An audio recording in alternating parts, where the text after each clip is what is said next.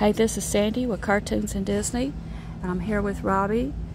This is a Spider-Man six-pack of men's crew socks. It says Spider-Man across the across the Spider-Verse, and here's what they look like. We're going to show you the side. There's the side, made from recycled yarn, and here's the back, what you're going to get inside the box. Get six of them